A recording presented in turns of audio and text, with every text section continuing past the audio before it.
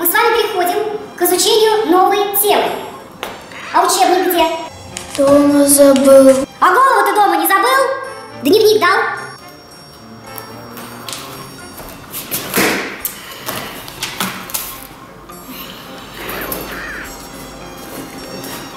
Ребят, ни у кого ручки нет? Я свою дома забыла.